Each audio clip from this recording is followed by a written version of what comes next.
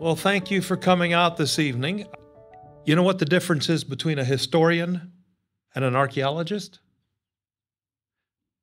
Archaeologists show slides. And I've learned something else today. I just made this up. An emeritus professor, which I is this fancy title I earned when I retired, means I don't have to wear ties and jackets when I lecture anymore. So I'm very grateful for you being here. Well, uh, the no subject is of greater interest to Christians, to Jews, to even secular people than the question of the historicity of the Exodus and wilderness stories in the Bible. Did the Egyptians really control and dominate the Israelites, the Hebrews? Was there really a Moses? Was there an Exodus? Well, I can't answer all those questions tonight.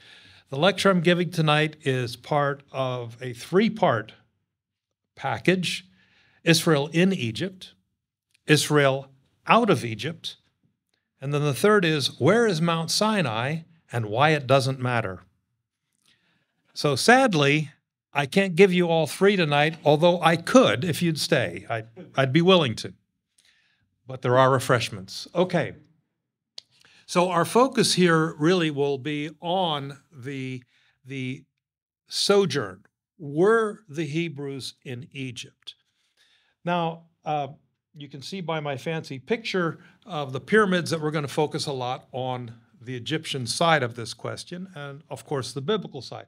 But just to give you a sense for where the academic world is on these things, perhaps Israel, Israel's most famous archaeologist, named Israel Finkelstein, in a very popular book that was translated into many languages uh, called The Bible Unearthed, uh, made this quote in this book. He says, The historical saga contained in the Bible from Abraham's encounter with God and his journey to Canaan to Moses' deliverance of the children of Israel from bondage is a brilliant product of human imagination. A brilliant product of human imagination. Then, too, there is Zahi Hawass. Maybe you don't know him, but any archaeological discovery made in Egypt, he appears on the TV and, and is the expert on everything, when in reality, okay, I'll stay out of politics of Egyptology. But Zahi Hawass, uh, with his Indiana Jones hat, um, said this in the New York Times. It's quite some years ago, but it's still relevant and reflects an attitude of many. As archaeologists, we have to say that these stories of Abraham and Joseph and Moses never happened because there is no historical evidence. Which I'd like to ask him as a nominal Muslim it's in the Quran. Are you rejecting the Quran? I've never asked him that. Now, here's what Wikipedia says, lest you think these are scholars that do not affect the public do not affect your average person who might be looking at this, students doing ho- homework or writing research papers, which you should never do, by the way. Don't use Wikipedia. Modern archaeology has largely discarded the historicity of the patriarchs and the Exodus story, with it being reframed as constituting the Israelites' inspiring national myth narrative. The Israelites and their culture, according to the modern archaeological account, did not overtake the region of that is of Canaan by force, but instead branched out of the Canaanite peoples and culture through the development of a distinct monotheistic uh, and then later monotheistic religion centered on Yahweh, one of the ancient Canaanite deities. Now, I defy anybody, and my, my good colleague here, Dr. Kurt von Beckham, I know of no God in Canaanite texts or Syrian texts named Yahweh. Am I missing something? But yet there it is. So it's in Wikipedia, it must be right. So you see what we're up against when the academics say things and it trickles down even into the popular media. That's why people in church, pastors need to have an understanding of these things. It's not just something for we academics to kick around. So, how should the believer, how should we as believers respond? And I'm sorry, I, I have to sort of turn to see what I put on the screen. Uh, but clearly, throughout the Bible, there really is no alternative explanation for who the Israelites are and where they came from. Uh, th- there's just no other story. More than 200 times in the Old Testament, the sojourn and Exodus is mentioned, including in laws.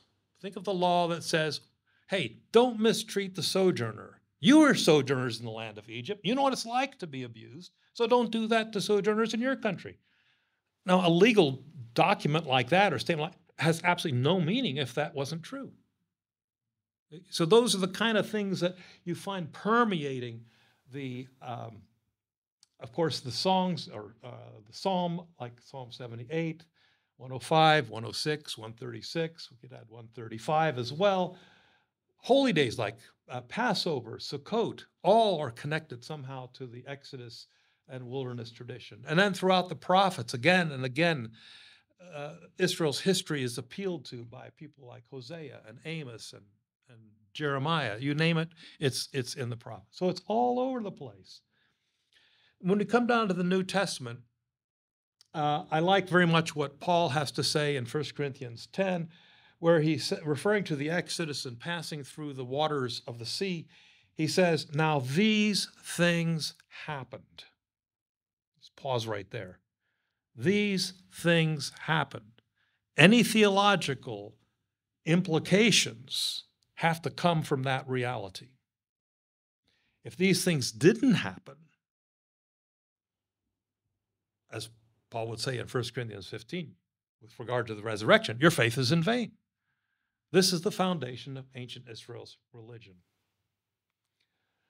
Um, this, uh, oops, sorry. Um, yeah, I'm, I, I, do apologize. We did have to switch my uh, program a little bit, and so we're having some trouble with some interfacing here. But anyway, uh, there's a text here and I don't see it. So I, I'm so, uh, back up. This was a book that I uh, organized and edited some years ago, which uh, attacked the question do historical matters matter to faith? Because some, of course, would say, well, it's what's the theology that comes out of it. You know, liberation theology doesn't need a real historical exodus. It's the idea of liberation, liberation from oppression or whatever it is. And uh, those in in uh, uh, the neo-orthodox side of things, well, it's not what's happened. It's it's the meaning you extract from it, and so on. So this book is is really dedicated to addressing the question um, of the importance of history by theologians, New Testament scholars, Old Testament scholars, etc. So I'm sure your book, your library has this book. Colin Brown, the systematic theologian, um, said this in his book, History and Faith. If an event such as the Exodus is seen as a paradigm of God's care for his people, the comfort and hope that the believer is extorted, exhorted to have to draw from uh, it are surely ill founded if there is no corresponding historical base. So when Jeremiah says, hey, the same God who brought you out of Egypt is going to bring you out of Babylon. That only has meaning if the people really believe God brought you out of Egypt. Otherwise, what's the hope of being brought out of Babylon? So you see how these things are connected. All right. So, um, uh, yeah, the question then is what do we do? Uh, how do we address these questions from a historical standpoint? And of course, archaeology is an, is an, a valuable tool. It doesn't answer every question, but what it does do is provide us with some helpful insights. So, the absence of evidence is not evidence of absence. That's a dictum that's uh, of absolute truth. Uh, just because we don't have evidence of something, concrete, objective, tangible evidence, doesn't mean something didn't happen. Uh, in some cases, we don't have an eyewitness to a car running into a motorcycle out here, but we might find afterwards glass from the front lights of the car on the street. We know something happened. We don't have maybe an eyewitness, we don't have a video, but we have some evidence. Something suggests something happened. So I'm the first one to admit uh, there is no direct archaeological evidence that I can point to saying, like, Moses slept here or this way out of Egypt, Hebrews, follow me. You know, nothing of that sort uh, exists, nor do I think will be found. And I don't expect it to. So there's no direct evidence. But what there is what I would call indirect background evidence. By indirect evidence, I mean where things comparable to what the Bible describes occur, where names and places that we find in the Bible are found in extra biblical sources. And thereby, uh, we develop. Uh, think of it this way you have a, a kilo weight on a scale. And I noticed that, that here you like using sugar cubes in your tea or coffee. You put one sugar cube on the weight, doesn't move. You keep adding and adding and adding. At a certain point, the, the scale will tip. And so, what I'm talking about is adding a lot of little blocks of sugar onto the scale and see how the weight shifts from not proof, but what I would call a preponderance of evidence. And we'll talk a little bit more about that. Um, so, indirect evidence, when critically and carefully considered, demonstrates the plausibility of biblical narratives. Doesn't prove it, but it, it shows it's plausible. Uh, so, do Bible and archaeology agree on this question? Now, most of you do not know this movie. My wife tells me you should stop using this. The movie Blazing Saddles, you know it. Okay, thank you. One person, two people, three people. This is better than an American audience. Okay, Blazing Saddle is a is a, a very funny, humorous movie, and the reason it's so funny is it's set in the Old West in 1874, where you have this sheriff. He's trying to be a peacekeeper in a town where there's a lot of uh, disorder and violence. But the story, as you go through the film, there are many what we call anachronisms, things that don't fit in that time period of history. So we see him riding along on his horse here, but when we look closer, if you can read his pouch there, it says Gucci. Now, you really have to look carefully when you're watching this to see Gucci, but Gucci was founded in 1921. So we look at this and we laugh because we know that's not possible. That couldn't have happened, right? And then the scene turns, and suddenly the, the sheriff is now uh, has sees this concert going on by Count Basie's orchestra in the middle of the desert. And Count Basie's orchestra was founded in 1935. So once again, we laugh because we know Count Basie wasn't around at that time in history. And, on it goes. And by the way, when the story ends, you know, like in, in old Western movies, the good guy run, rides off into a horse into the sunset, he drives in a Cadillac. So one final. Now, these are called anachronisms. They just don't fit.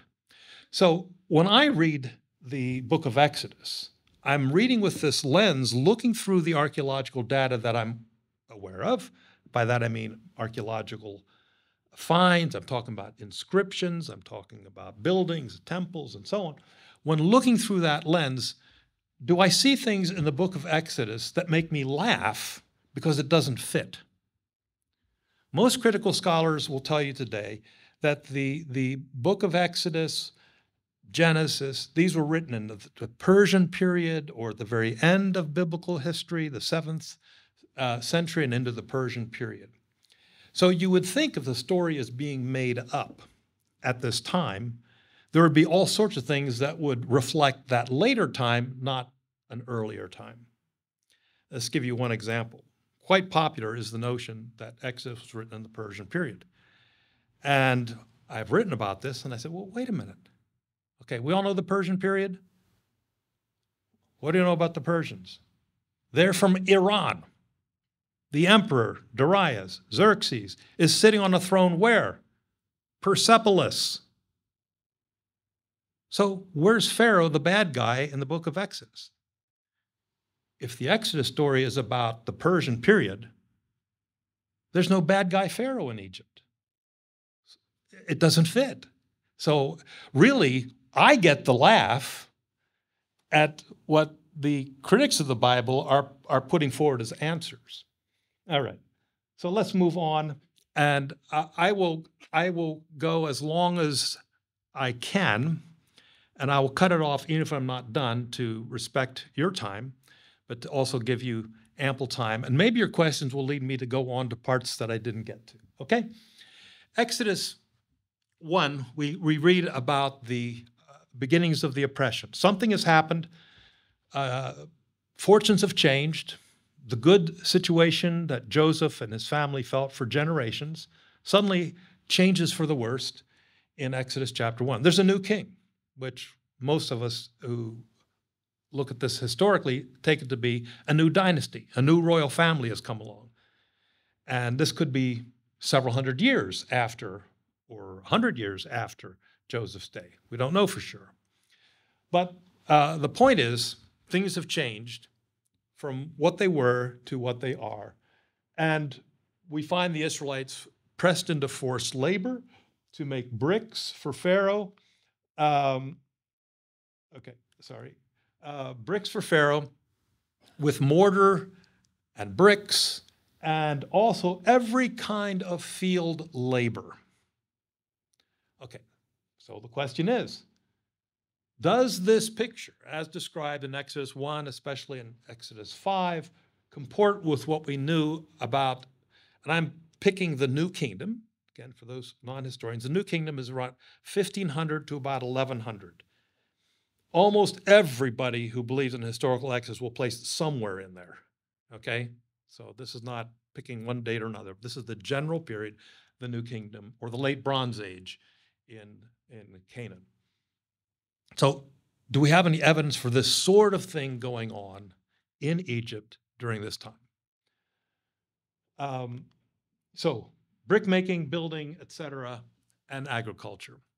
Now, when I go to Egypt, as I will in January with two different groups, I one of the places I always take them is to this tomb. This is the entrance to the tomb uh, of a vizier or prime minister named Rechmire. Uh, that's not him, in case you were wondering. That's, that's not him standing in the doorway. That's the guard. But um, yeah, in his tomb, here is here is the prime minister Rechmire, and I, I want to point two things out. Number one, notice he's wearing this white gown, beautiful white linen. The Egyptians are notorious for their beautiful white linen. Okay, just as they are today for cotton. Egyptian cotton is most precious in the world, most costly. Secondly, he's wearing this gown that goes up to his armpits. And this is the kind of gown a prime minister would wear. So if you're trying to think about Joseph and you're reading back into the book of Genesis, if, if indeed he was the prime minister, as I think he was, he would have, Joseph would have been dressed like this, one of these white, beautiful, lovely gowns. But in this tomb, um, Rechmire shows all kinds of work going on to build a temple to uh, for the king he serves, Thutmosis III. And everybody, I think, who has studied some Old Testament will be familiar with the scenes showing bricks being made. And in this case, the, the workers are clearly non Egyptian. These are foreigners. Uh, so you can see here they're taking water out of a pool, making bricks, mixing mud. Uh, there, here's a, a basket, a bucket-like basket where mud is being taken and and uh, to the brickmaker. The scene continues, and you can see here um, a very clearly African-looking man, uh, a blonde-haired supervisor, uh, taskmaster, Egyptians aren't blonde, by the way. But some of the prisoners that they brought back from North Syria are blonde, just like the prisoners of war they brought from Sudan are black. And so you can see in these scenes uh, people of different ethnic makeups from different countries who were taken as prisoners of the king's campaigns and are brought back. And what are they doing? They're making bricks, they're engaged in building projects. Uh, look at this poor guy bending over with a yoke, lifting it up. And I'm reminded of Leviticus 26 3, 13, where God says, I, the Lord your God, who brought you out of the land of Egypt, that you should not be their slaves. I have broken the bars of your yoke and made you walk erect. So there you have a beautiful picture of the reversal of what you see here. God took them from the servitude, the dirty work of making bricks, crawling around in the mud.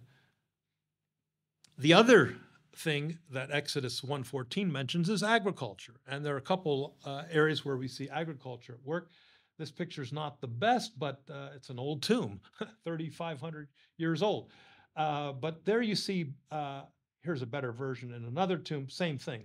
But here are workers and they're stomping on grapes. They're, they're making wine out of grape juice. And here's another scene where they're doing the same thing. Uh, but look, look at these men. Another blonde-haired guy. Uh, here's an clearly there's a, a, a Sudanese, Nubian, or Cushite man. Here is probably a Canaanite by the kind of beard he has, the kind of hairline he has. These are all I, this, these uh, details identify their ethnicity. So the point is here in agriculture, we also find them uh, uh, harvesting grapes, uh, pressing the wine press, pouring, and also in agriculture, um, here you can see uh, farmers pulling their their plows with their oxen and so on. But um, Deuteronomy uh, has a very interesting note in which it's reminding us when we read this that where that when they lived in Egypt and worked with the agricultural side of things, that this was very different from the agriculture that will be conducted when they go to the land of Canaan. And the big difference, of course, in Egypt, you have the Nile, you have canals, you have irrigation. In the land of Canaan, everything is dependent on rain. So, and, and that's the point being made here. For the land that you are entering to take possession of is not like the land of Egypt from which you have come, where you sowed the seeds and irrigated it like a garden of vegetables. But the land that you are going to over to possess is a land of hills and valleys, which drinks water by the rain from heaven. So your agriculture is going to be different. It's going to be great. You just stand back and let it rain. Uh, that's how great uh, what I'm taking you from and taking you to is you don't have to dig and make canals and and all of that. So uh, uh there's a big shift in how their work life will be in farming. Uh, Psalm 81, uh, God reminds Israel, I relieved your shoulders of the burden, and your hands were freed from the basket. Again, referring back to the sojourn in Exodus. Well, what's this business about? Okay, we saw taking the load off your shoulder, but what's this basket business? Well, uh, in Egypt, uh, even to this day, uh, soil is taken and in baskets and dumped into the fields as a kind of fertilizer. Um, this is especially done today when they're trying to reclaim desert lands for agriculture. Now, these little statues you see are found by the hundreds in the tombs of this period. Uh, these little statues you're looking at are about uh, maybe 10, 12 centimeters tall.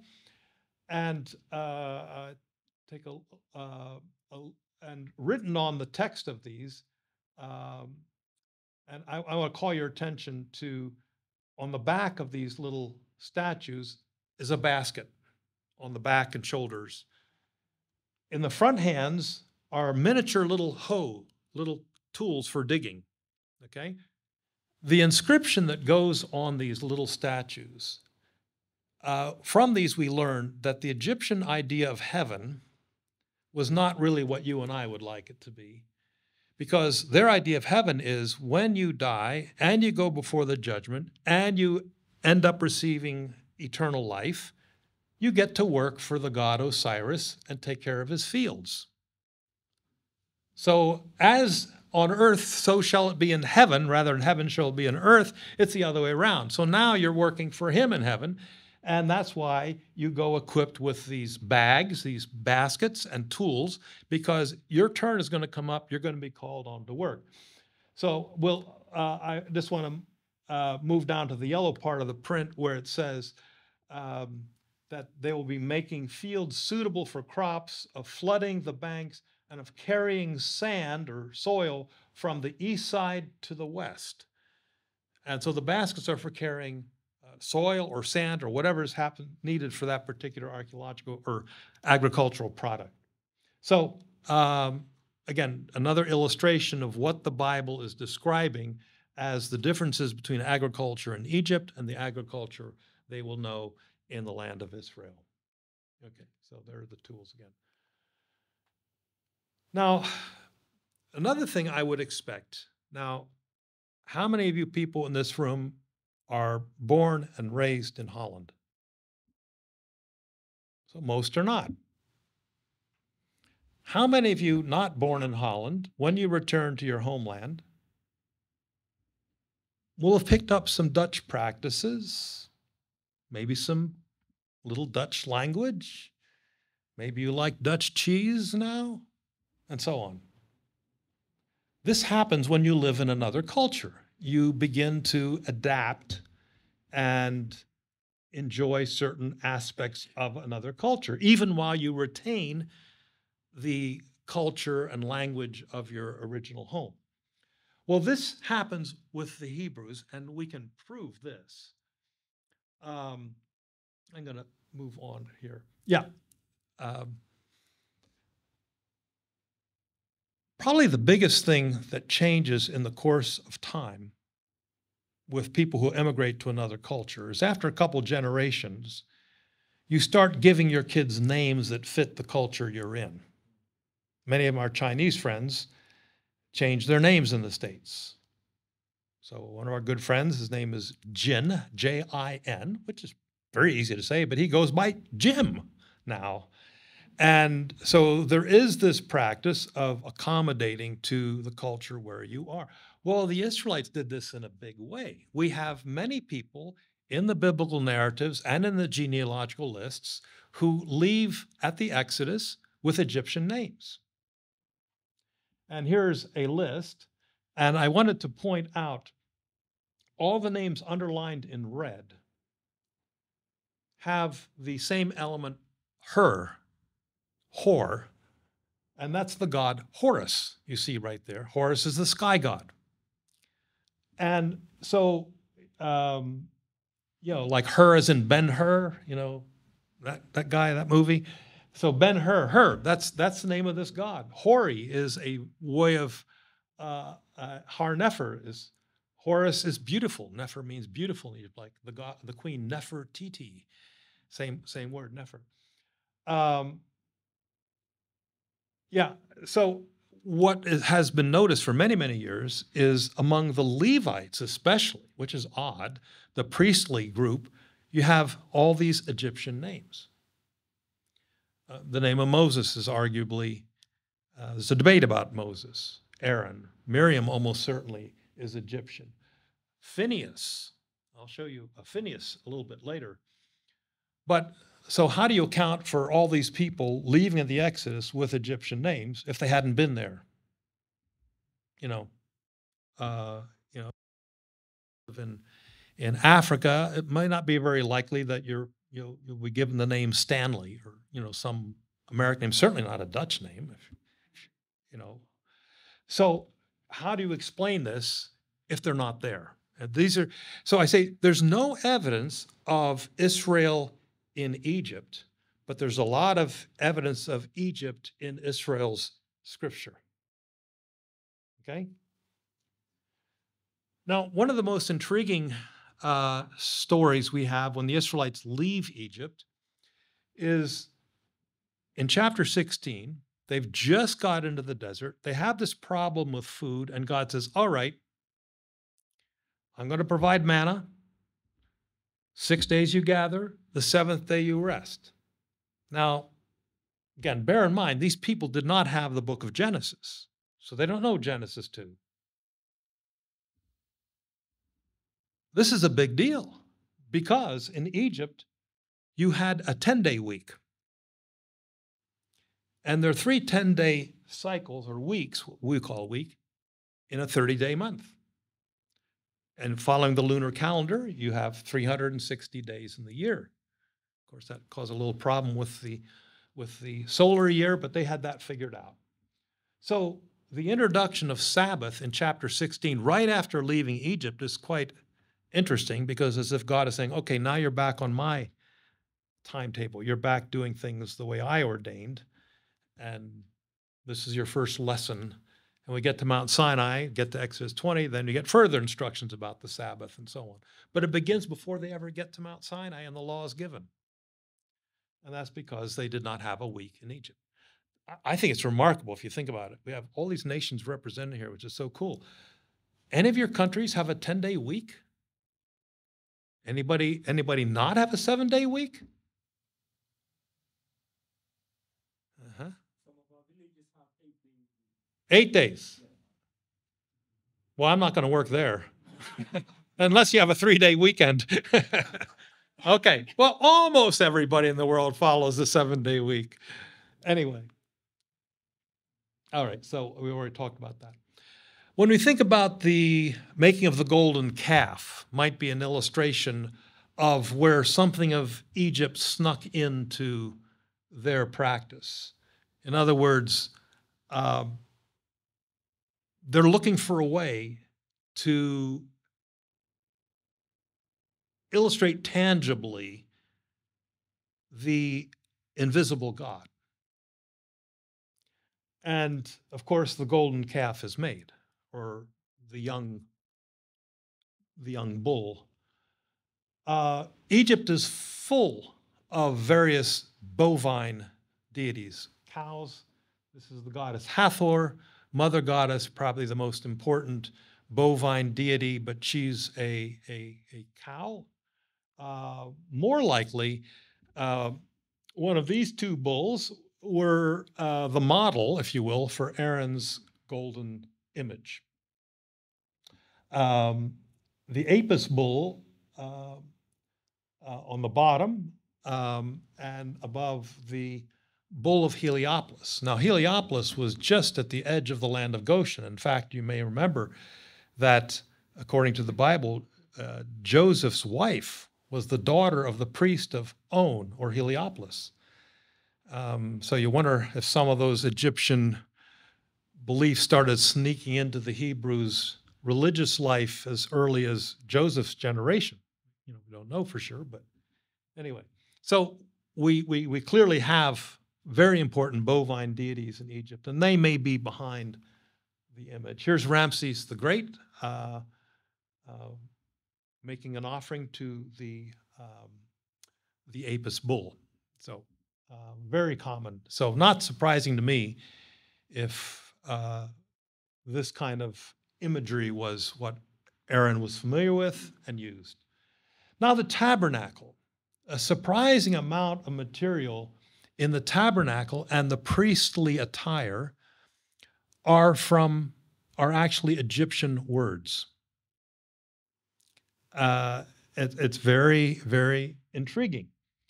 So, for instance, we read again and again of linen that's used to cover the tabernacle. The priestly gown is made of linen. We'll see a little bit later that the sacred underwear worn by the priest was made of linen. And in every case, the Hebrew word that's used is the, is the word shesh. And it's the actually the Egyptian word for linen. Remember that nice white linen we saw the vizier wearing a few slides back. So, what are we dealing with? We're dealing with something uniquely Egyptian. This word is not the common word in the rest of the Bible for linen. In fact, you see down below the word boots. Uh, we have that in Ezekiel, First Chronicles, Esther. It's the common Semitic word for linen. In the Joseph story, he's wearing a linen garment. Again, the Egyptian words used. So it's interesting that in the Egyptian settings, they're using the Egyptian linen. As time moves on, they don't have access to Egyptian linen in the land of Canaan, and the word just drops out of use. We can't get Egyptian linen anymore. The wood that's used to make the tabernacle and the furnishings um, is acacia wood, which is probably the only tree in the southern part of Canaan, Egypt, Sinai that you could use to make things out of wood. Palm trees are pretty useless, at least the trunk. The branches you can do things with. But this was the only tree of any value as far as timber is concerned. Um, and you can you see them everywhere because they they don't need a lot of water to thrive. But uh, the the Egyptian word is uh, behind the Hebrew word shittim. So if you read in uh, that the Israelites were in Shittim, just on the edge of Canaan, that's that must have been the name of a place where there were a lot of of of of these uh, trees. So the Egyptian word shenech is behind the word shitta, um, where we get the word for linen. And then there are a whole number of other little technical things, and and my wife urges me not to get too bogged down in the details here, but show pretty pictures. So when we when we think of the beautiful gold furniture found in King Tut's tomb just hundred years ago, the the working of gold on wood was really mastered by the Egyptians. So the very fact that the Israelites are master artists at making the Ark of the Covenant and these various utensils and wooden poles covered with gold, uh, we can see, aha, they understood the technology. Somebody must have worked in that sort of work and took the knowledge with them. But what's more intriguing is that the Hebrew word that describes this process in Exodus 39, number 16, is the Hebrew word pachai, pachi. Uh, and it derives from the Egyptian word pecha. So it's the actual Egyptian word. So the technological word for this process of working gold is what we have in, in the, the Pentateuch or the Torah. So it's not just the way of doing it, but the very technology and the terminology came with it. Again, all these things are what I would call sugar lumps on our scale. Okay, of course, the great throne of Tutankhamun. We have a beautiful jewelry in the tomb of Tutankhamun, and here you can see uh, one of the pectorals, which is almost the same size as the pectoral worn by the high priest. Uh, the three most common stones in Egyptian jewelry are turquoise, carnelian, which is the red, and lapis lazuli, which is the dark blue. Lapis lazuli comes all the way from anybody know where? Afghanistan. Who said that? Oh, okay. The professor, of course. Well done, well done. Not everybody, not everybody knows that. And by the way, I confirmed that when I was getting my wife a um, a, a, a, what do you call it a brooch or a chain for a piece of um, lapis, and this was in Cairo. And I said, "Now, where do you get this from?" Afghanistan. So, in antiquity, even in modern times, it comes from Afghanistan. Turquoise comes from central Sinai. And until later times, uh, by after 1200 BC, turqu- turquoise is no longer mined in, Tina, in Sinai, and it drops out of use uh, in Canaan. You don't see it. You find it in Assyria uh, in later times, and it comes from Persia at that point in history. But um, yeah, so here's some turquoise from Sinai, or well, let's say it looks like turquoise from Sinai. Uh, the turquoise mines were basically exploited in ancient times, but it was Egypt's most favorite stone in jewelry. So it's interesting that the three most, and you see again, the red, the dark blue, and the turquoise colors. And this, those three are, are all stones that are on the high priest's breastplate. And the very fact that turquoise is not only found in Sinai, the Hebrew word nopheg is derived from the Egyptian term also. So uh, once again, we find the influence of Egypt in the terminology. Um, here's one, by the way, that was found in, in Lebanon, in Byblos, uh, north of Beirut, uh, from before 1500. So you can show here you can see both the technology and the use of these stones were found outside of Egypt. Uh, so the idea that you find these things uh, for the Israelites is not really so far fetched.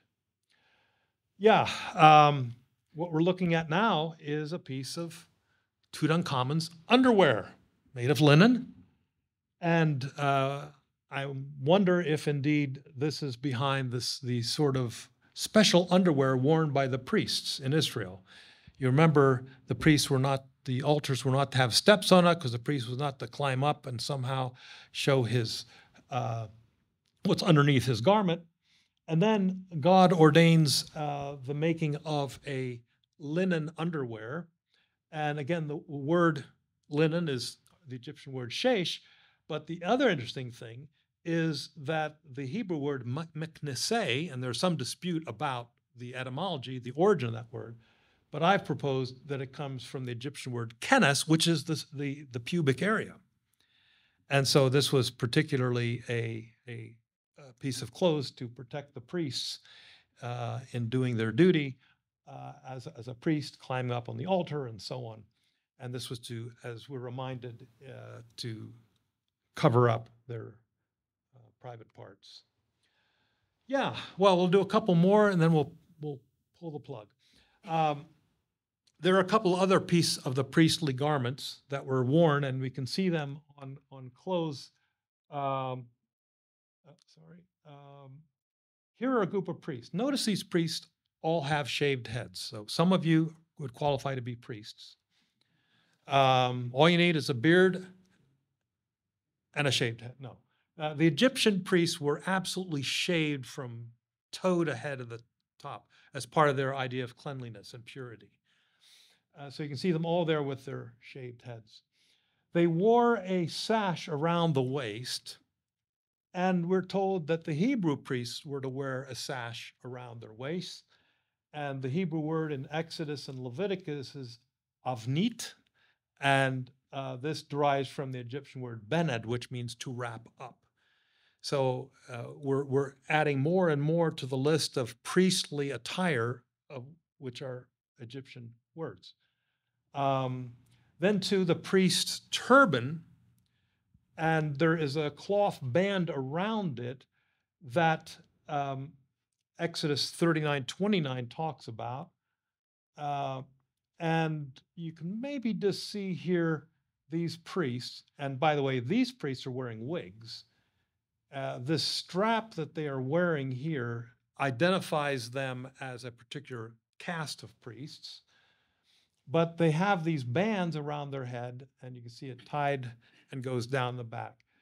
And uh, the Egyptian, the word for the priest's band on the uh, Hebrew high priest is pa'ar, and it derives from the Egyptian word pir, which means uh, a cloth band or a headband. So once again, we find all these little details just adding up and adding up. Uh, let me move on and talk briefly about Korah's rebellion. Uh, it's a great story in Numbers chapter 16. And you remember that Korah is challenging Moses as priest. Uh, why would Korah challenge Moses as being priest? Um, his name Korach means bald head or shaved head. That's the same derogatory term used of Elijah or Elisha. I'm sorry. Um, and but in Egypt, of course, the shaved heads were the priests. So it seems to me that Korach was probably a priest, Egyptian-styled priest, serving amongst the Hebrews.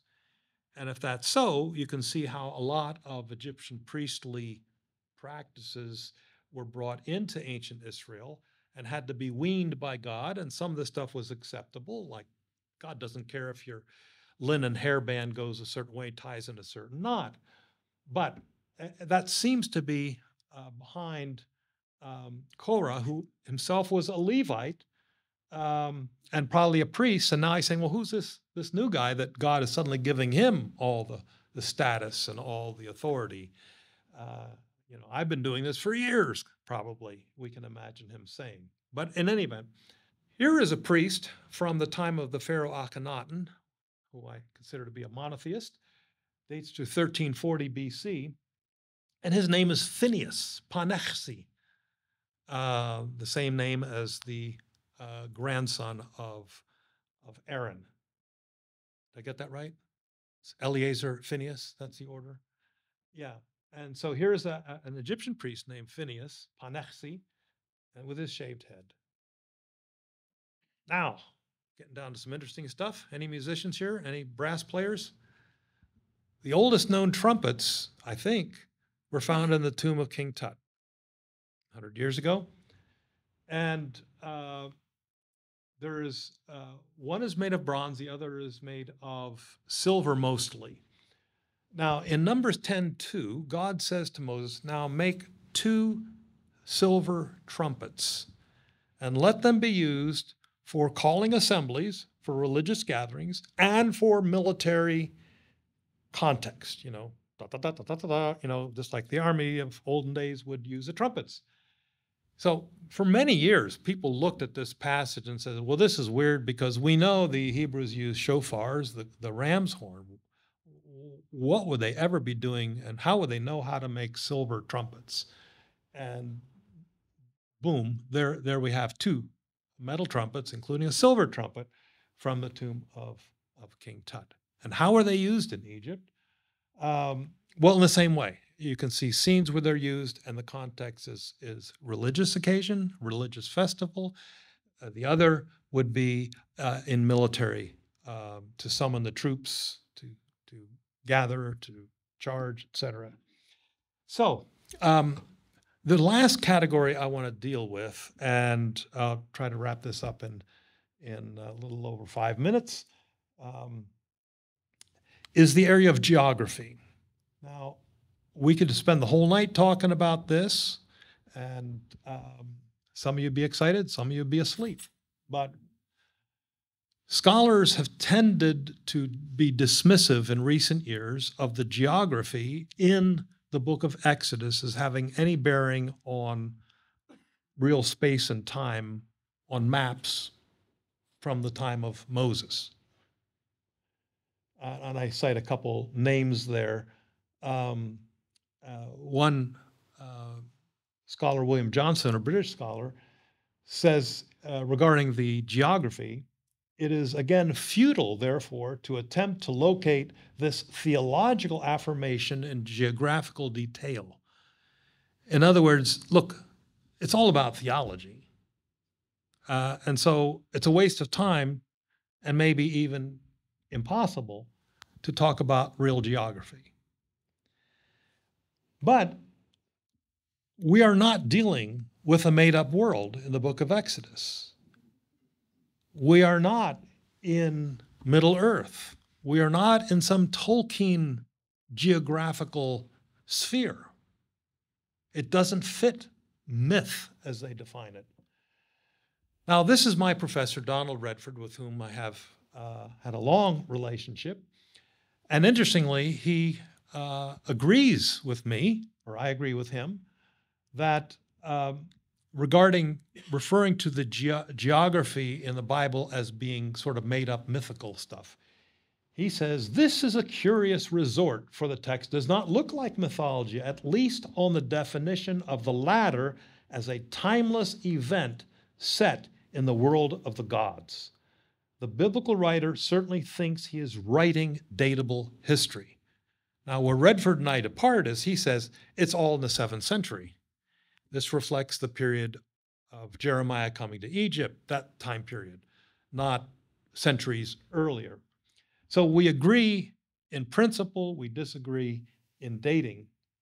Uh, I should, I'm going to skip these guys.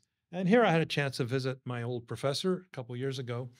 And uh, just to let you know, you can agree vehemently with, with somebody and still be friends and colleagues and respect them and learn from them. And so, by the way, I retired before he did. I think he may be retired now.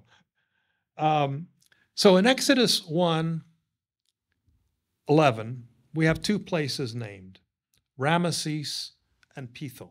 These are said to be the store cities the Israelites built.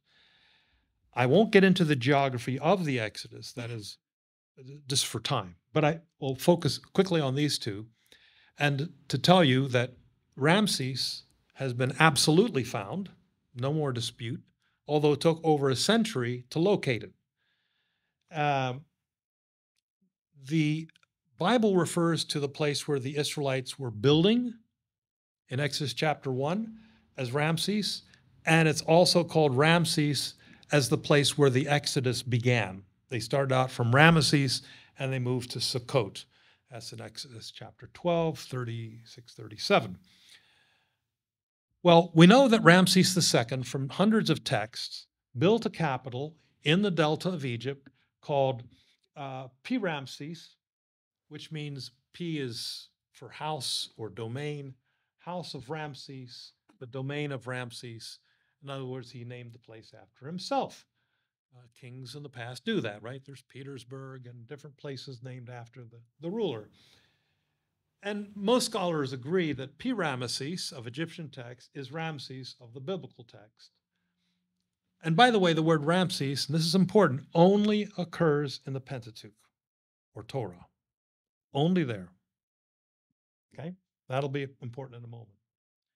Now, for decades, thanks to the excavations of Indiana Jones and his professors, his predecessors at Tanis, it was thought that that was Ramses. So when Indiana Jones was there, that's what they thought. Because the French thought it, the French who were digging there. Okay, so, however, uh, Zoan and Tanis is another city mentioned in the Bible. Again, Zoan, depend on your translation. Tanis is simply the Greek vocalization of the Hebrew Tzoan. So it depends on what translation you're looking at. You could see either of these names. Zoan and Tanis occurs in Isaiah, Ezekiel, and in the Psalms. Never in the Torah is that place mentioned. Now, this is very interesting because we know why. The city of Tanis was not established till around 1100 or a little after 1100. And the city of Ramses ceased to exist just before 1200. Did you follow that? I'll repeat that again. Zoantanis only occurs outside of the Pentateuch. Ramses only occurs in the Pentateuch. Um, we'll come back to this. Here's Tanis in the northeastern delta. Google Earth image. It's a huge site. And uh, you go there today, it's been cleaned up a little bit more. There used to be blocks everywhere and statues everywhere. They've cleaned it up and organized it now, but all the blocks on the surface have the name of Ramses the Great, statues of his, and so on. The French were digging here for years and they were convinced they'd found the, the capital city of Ramses. But when they excavated down into the ground, they realized that the pottery they were discovering was from a much later period. It didn't correspond with the dates of the texts. So they knew that there was a problem of a couple hundred years.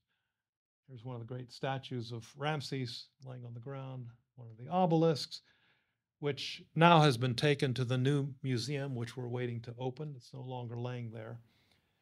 So, what we now know is that this, er, this site called in Arabic Qantir, the ancient Ramesses, was built uh, about 20 kilometers uh, south of Tanis. Um, now, if you go to, to Ramses today, there's very little to see. Even the, these feet of the statue, and that's my daughter over 20 years ago, um, that statue, uh, the feet have been taken. Part of the statue was broken, and uh, some things have been found here, but most of the city is gone. Here's the arm of the statue. Here are some other th- things that have been found. What we now understand was the great city of Ramses, and you'll get a better idea of it in a moment, was connected to a very important branch of the Nile. And in the course of about 150 years, that Nile branch began to desiccate, dry out. Uh, I don't know what your main highway system is here, but if you could imagine the main highways to Amsterdam all, were all gone. Amsterdam probably would no longer be the capital. You'd choose another city where the highways could still connect or the ports could still connect. That's what happened in Egypt. So the city was abandoned. But the Egyptians were great recyclers. So they took almost all the blocks, all the statues, all the great obelisks, brought them to Tanis to make their new capital. And so uh, to study the fields of Goshen, the land of Goshen today, is largely being done by German archaeologists.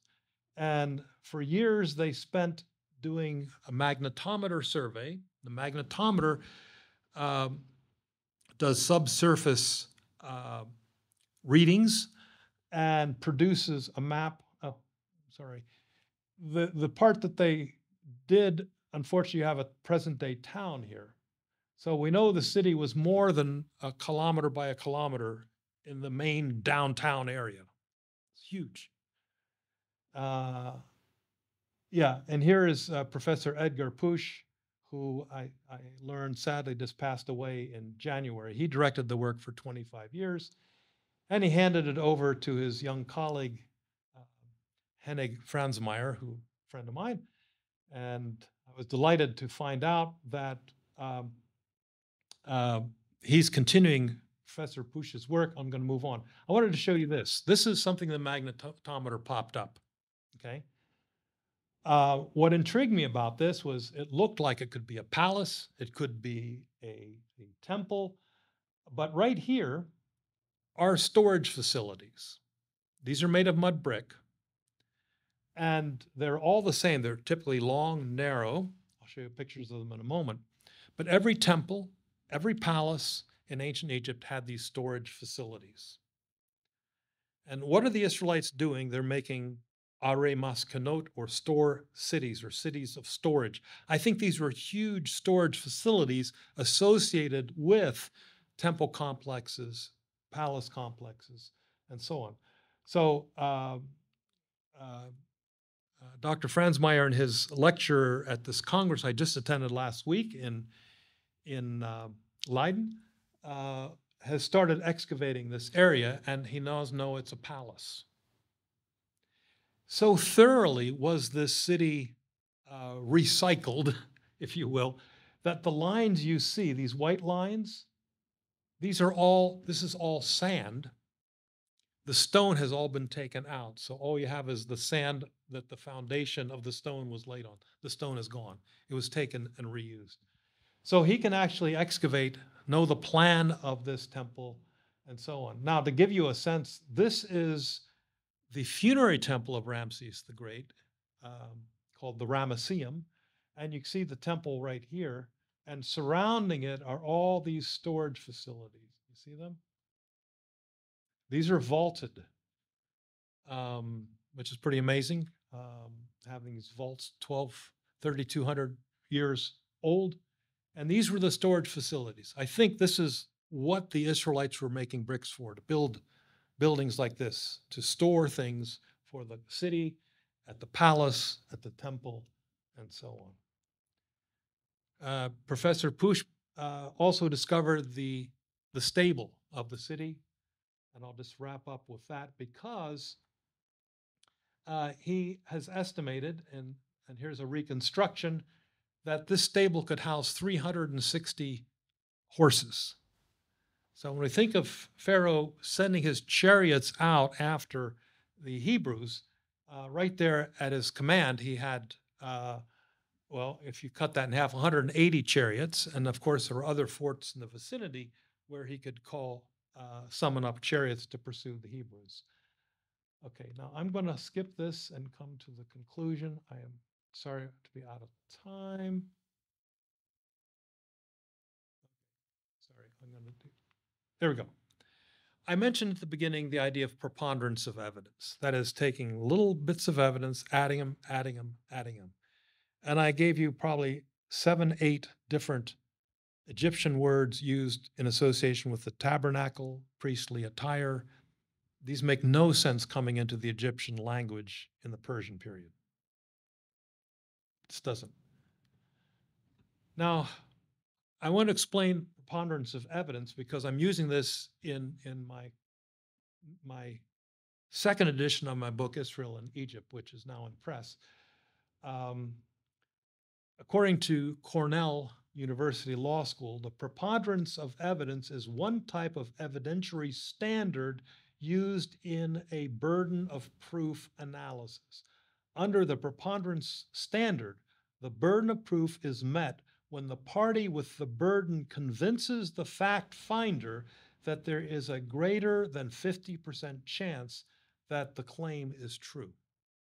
In our court system in America, and these we're talking about civil cases, not criminal cases, but in civil cases, if you can make the audience or the, the jury think that you're 51% right, that's considered enough to meet the test of the preponderance of evidence.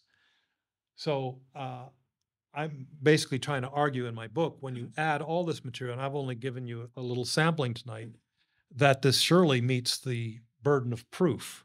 That the modern day believer, we started with this question, uh, can confess along with Paul and the saints of old that these things happened. Can't prove it, but the preponderance of evidence strongly suggests it. Thank you.